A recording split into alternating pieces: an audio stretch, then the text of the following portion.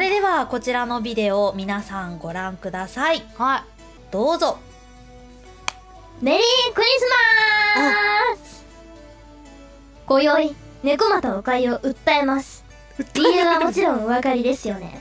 あなたはシオンと初めてのキスをしておいて、他の女の子に思わせぶりな態度を取ったことを、許しませんよ。あなたを不倫の罪で訴えます。覚悟の準備をしといてください。以上。というあのビデオが届いておりましてですね。こちらのちなみにどういったことなんでしょうか？えー、っとマインクラフトやってる時に、はいあのまあいろいろあって、はい。アクアアクアちゃんじゃないわ。しおんちゃんが助けてくれてお礼に何かしてほしいことあったらなんかあげたりするよって言ったらはい。なんかキスしてって言われて。ええそうなんですね。そんなことが。でまあしました。でそしたら不倫の罪で訴えられました。どういうことなんでしょうかえちなみにですねこちらあの動画を送られてきた後にしおんちゃんから、えー慰謝料は5億だというふうに聞いております バカ野郎はい。あ来ましたねえー、証言者、えー、ミナとアクアさん自己紹介の方まずは簡単にお願いしますはい。えっと、ちょっと先ほどのお話を聞いて、動揺のあまりお茶をこぼしてしまいました。ミナとアクアと申します。どういうどういうことですか？きながら話させて、あ、そうですね。動揺したのは、まあ、主に、はい。あの、紫しおんさんのビデオ動画についてですね。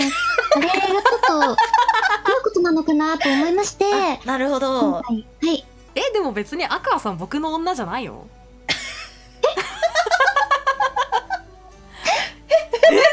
動揺動揺してますが証言者の方大丈夫ですかあの大丈夫です。大丈夫ですか、証言証言できますか？証言できますか？おかゆって、全工程おかゆって言われるくらいそうですね肯定してくれるんですよ。そうですねすごい褒めてくれるし、はいもしかして、私に気があるんじゃないかなって思わせるようななるほどことばっかりしてくるんです。ほうほうほうでついこの前も、アクアちゃん、一緒に話そうよ。って言ってくれて、はい。で、朝まで話したよね、私たち。なるほど。ねえ、あれは何？ねえ、私は誰かと朝まで話すことないのに、おかゆはどうせ、他の思わせぶりってことですかね。みんなに思わせぶりな態度取って、しかもね、しかも、しかもキスって何？ね、キスって。ねえ、ねえ、キスってどういうことねその件に関してちょっと弁明を。あーまあしおんちゃんとキスはしたよ。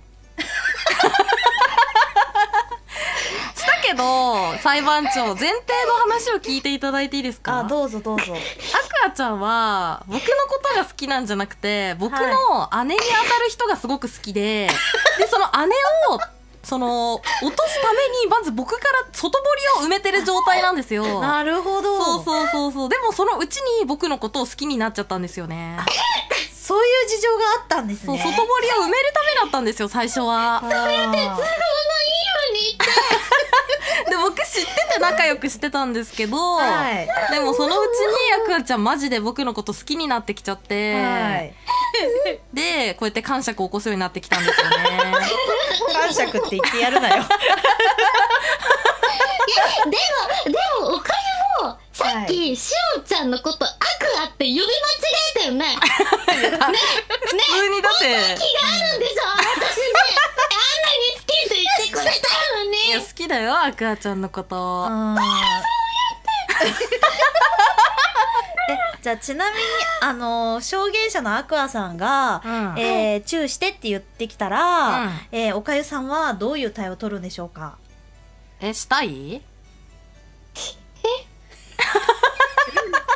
うん、うん、うん、うん、うん。何何どうなのよどうなのよいやしたいならするけど別にいや良かったですね。されするそうです。そうやって乙女心揺さぶってくるんですよこの人。揺さぶられるか思いませんじゃあおおかゆわおかゆ私ともじゃあしてくれるの？おーまあしたいなら別に。猫又おかゆはそうですね。割とこう人たらしなんだなというそんな猫な印象になってきましたねでもアクアちゃん僕がさ人たらしだからって僕のこと嫌いになれないでしょ別に。うん。まあ。何？何？なんだこのカップルの会話は。えー、犬神コロネさんから電報が届いておりますのでそちらを少し読ませていただこうと思います。はい。はい。怖っ。ねこちらのイラストをご覧いただきながらちょっとお話の方を聞いていただければなと思います。はい。はい、では読ませていただきます。この絵は幸せの壺だから来年からは幸せになれるよって渡してほしい。おかゆのためだけにおかゆ仕様にリメイクした品だからね。メッセージ。弁護はしないけど何があってもコロネはおかゆの味方だよ以上です。なるほどね。これを受けておかゆさんどう思われますか？まず来年からはって今年も十分幸せだったわ。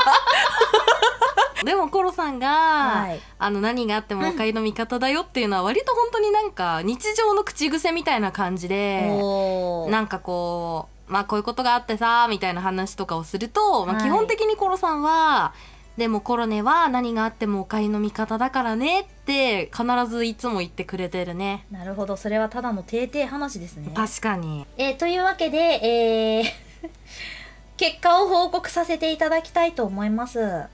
えー猫又おかゆ裁判、えーいたずら猫は無罪なのか有罪なのか、えー今回の判決を決定いたします。はいでででで猫又おかゆ有罪 ありがとうございました。